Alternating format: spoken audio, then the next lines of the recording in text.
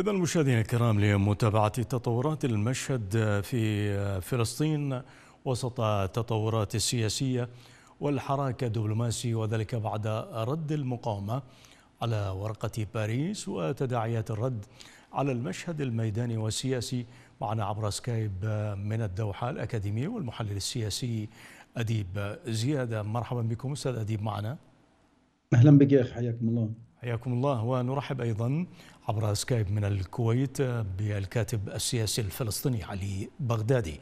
مرحبا بك أستاذ علي.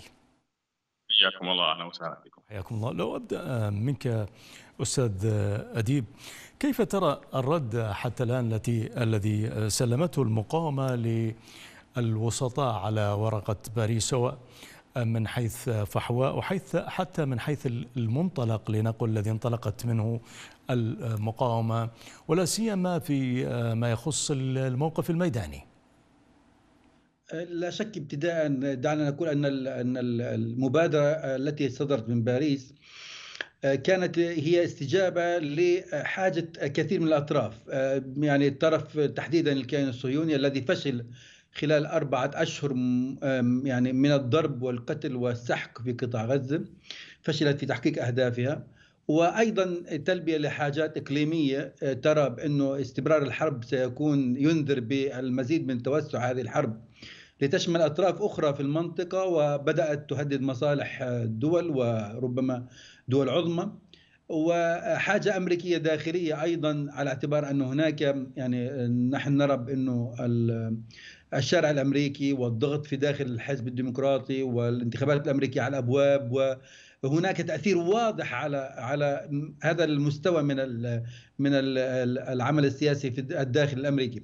وأيضا كان هناك استجابة للحاجة الضرورية في قطاع غزة حيث أن هناك معاناة هائلة في قطاع غزة. هناك يعني نوع من السحق الكامل لكل مقومات الحياة.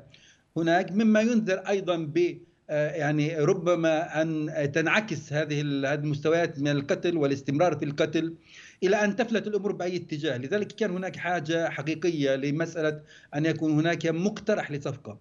تم اقتراح هذه الصفقة وكما نعلم أنها عرضت على الأطراف أعطيت الإسرائيليين كان متوقع أنه يكون هناك رد إسرائيلي على الموضوع هذا وكان بالانتظار أن يكون هناك ردود من قبلهم إلا أنهم امتنعوا حتى يسمعوا الكلمة الفصل من حركة حماس لأنها هي التي سيكون لها الكلمة العليا في الموضوع.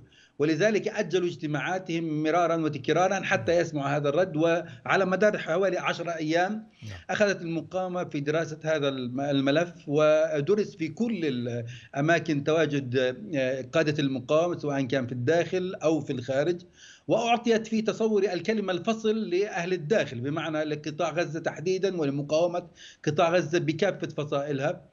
أعطيت فترة لدراسة هذا المقترح وكما نعلم وكما يعني نرى وشهدنا هناك من حراكات داخل المجتمع الإسرائيلي ان هناك كان تياران في في يعني ينتظران ربما نتيجة ما لمقوله حركة حماس في هذا الصدد. التيار اليميني المتطرف الذي كان يمثله بنيفير وسموتريتش واستبعهم حتى نتنياهو اخذ يتذنر بمواقفهم.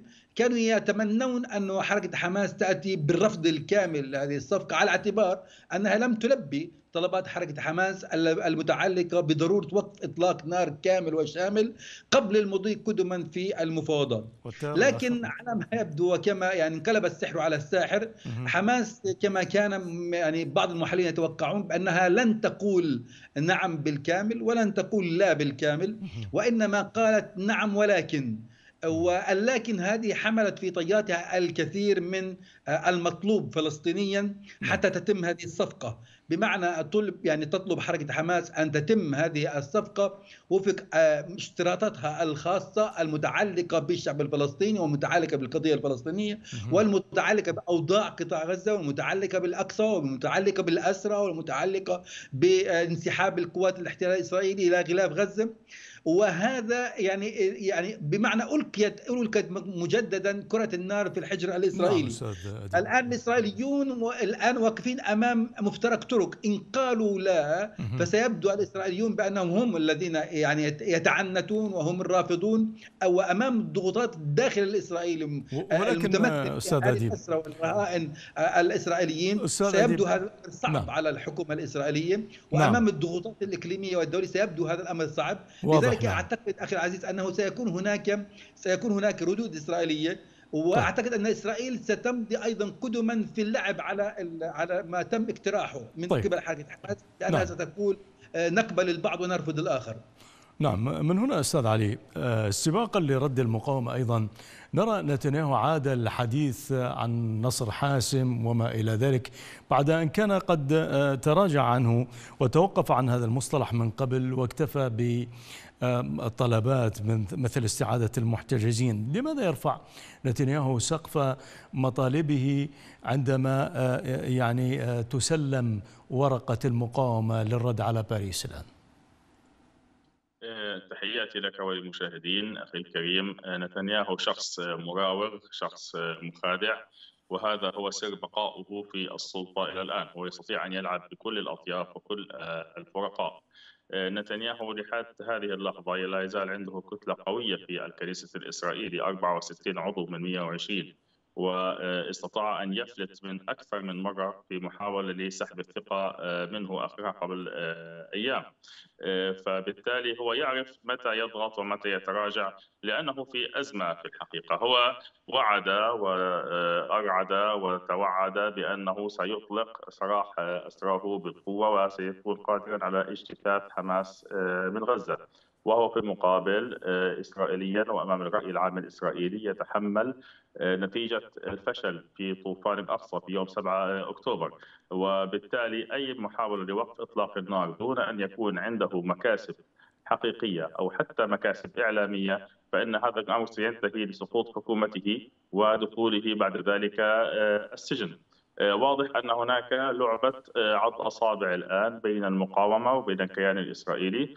نحن في معركة هذه المعركة الحالية المعركة السياسية. لا تقل ضراوة عن معركة الميدان المعركة آه، العسكرية لأن هناك ضغوط تمارس من أكثر من جانب على المقاومة حتى آه، في النهاية توافق على المطالب التي طرحت إسرائيليا آه، في في فيما سمي باتفاق الإطار والذي هو كان في حقيقته وثيقة استسلام لحماس ولكنها استطاعت أن يعني ترد بذكاء وبتشاور مع الفصائل الفلسطينية المختلفة. وتدخل في التفاصيل لأن آه، قضية آه، وقف إطلاق النار الكامل والشامل ستؤدي بشكل آه، تلقائي إلى سقوط حكومة نتنياهو. وكذلك موضوع تبييض السجون الإسرائيلي الإسرائيلية هو أمر لا يتحمله المجتمع الإسرائيلي ولا السياسة الإسرائيلية. وبالتالي كان على حماس أن ترد ردا ذكيا من خلال التفاصيل تطرح موقفها. فالكلام عن آه، أن أن أن الحركة منفتحة على أي أشكال من المبادرات شرط أن تؤدي هذه المبادرة في النهاية إلى وقف كامل وشامل لإطلاق النار. نعم. وهذا ما ذكر في الديباج التي ذكرها الرد آه، آه، رد حماس.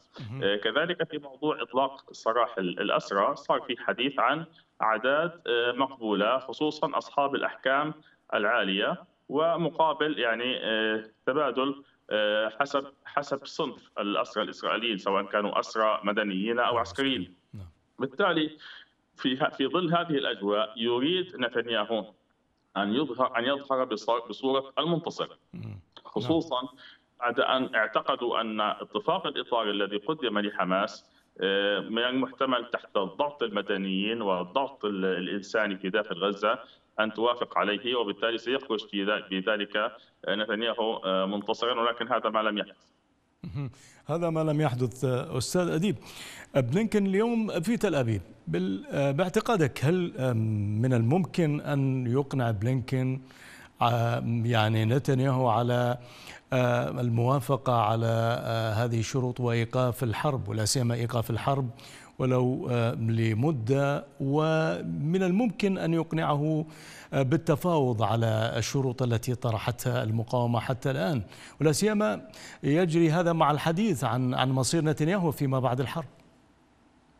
ونحن نتحدث الآن الآن يعقد بلينكن مؤتمر صحفي في مقر السفارة الإسرائيلية في القدس حاليا.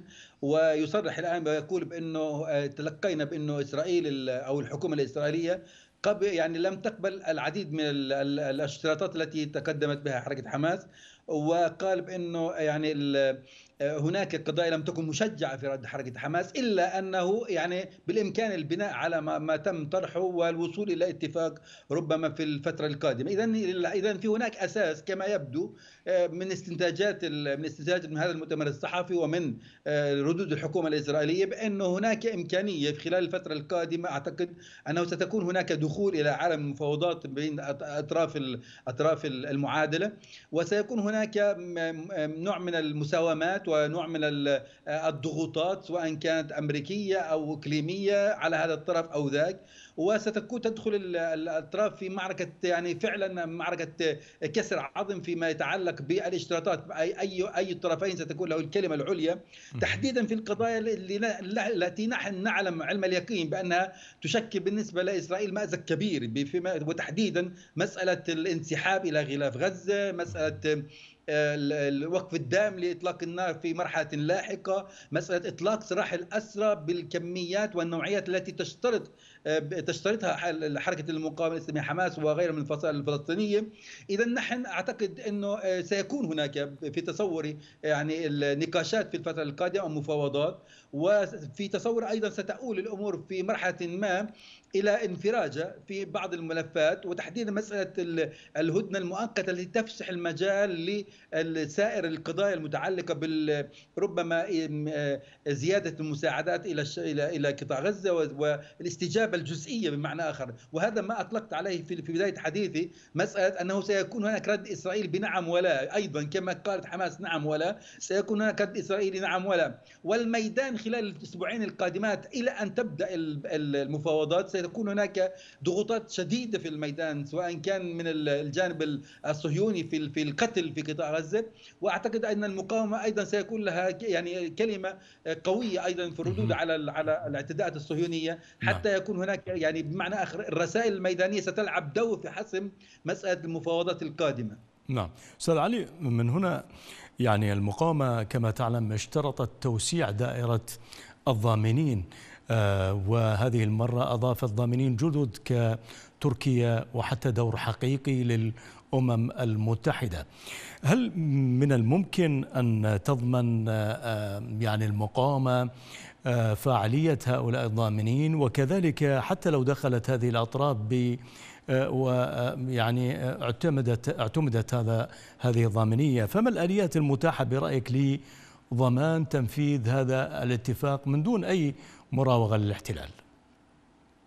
يعني هو في الحقيقة الضامن الأساسي لأي آه، اتفاقية هو صمود الشعب وصمود المقاومة وسلاح المقاومة وميدان المقاومة. هذا هو الضامن الأساسي الذي أرغم جميع الأطراف على الجلوس والتفاهم والاتفاق للوصول إلى وقف آه، لإطلاق النار. آه، عملية تدخل الوسطاء أيضا هو أمر مهم لأن الوسطاء عندما يتنوعون بين تركيا وقطر وهي دول لها علاقة جيدة بحماس أو دولة مثل روسيا دولة كبيرة وأساسية وعالمية وحتى الولايات المتحدة الأمريكية التي هناك يوجد تململ في الحقيقة من سياسة نتنياهو وتعامله مع آه، منطق الحرب والقوة بما يحرج آه، الولايات المتحدة. صحيح هي إلى الآن ما تزال داعمة بقوة إلى الكيان الإسرائيلي ولكن آه، يعني ما هو غير مفهوم أن هذا الدعم يؤثر سلبا على صورة آه، أمريكا في العالم، فوجود الضامنين هو هو أمر عادي وطبيعي في السياسة الدولية وهو أمر يجعل الكيان الإسرائيلي في الزاوية آه، بعد في الحقيقة في في في عدة في عدة آه، نقاط وعوامل أدت إلى عزلته نعم. قضية المحكمة العدل الدولية التي رفعتها جنوب أفريقيا قضية الرأي العام العالمي الذي أصبح يرى ويسمع ويشاهد على مدى خمسة شهور مشاهد الضحايا من الأطفال والنساء قضية وجود ضامنين أيضا للتأكيد على أن العدوان يأتي من الطرف الإسرائيلي وليس من الطرف الحمساوي. وبالتالي إذا حصل هناك أي خلق لوقت إطلاق النار فالرد سيكون جاهزا. الآن نحن بعد كل هذه الفترة كل هذه الشهور من الحروب ما تزال المقاومة فاعلة، الجرح الأساسي هو الجرح في جانب المدنيين، ومع هذا ويبدو لي أن المقاومة جاهزة لجميع الاحتمالات، سواء احتمال توسع المعركة ودخول لواء رفح في القتال فهي جاهزة لذلك أو الوصول إلى وقف لإطلاق النار وهدنه تؤدي إلى وقف إطلاق النار وبالتالي التخفيف على شعبنا، كلا الاحتمالين المقاومة جاهزة لهما وبفعالية شديدة. رغم الجراح رغم التعب رغم ما يصيب الناس لأن لكن في النهاية شعبنا في غزة يشعر بأنه دون بعد كل هذه الضحايا وبعد كل هذه الدماء والأشلاء والتدمير والهدم إذا لم يكن هناك نتيجة حقيقية فما الفائدة من ذلك؟ هم الآن يعني موضوعنا في في في زاوية أنه لم يعد هناك ما نخسره أكثر مما خسرناه إذا فلتستمر الحرب ولتتوسع فهذا هو في الحقيقة الضامن الأساسي لهذه أي لأي اتفاقية تحدث. وبالإضافة إلى الموقف الدولي أو موقف الدول الصديقة وكله موقف يعني جهد مشكور ومقدر إذا علي بغدادي الكاتب السياسي الفلسطيني شكرا جزيلا لك. كذلك شكرا للكاتب والأكاديمي المحلل السياسي أديب زيادة من الدوحة.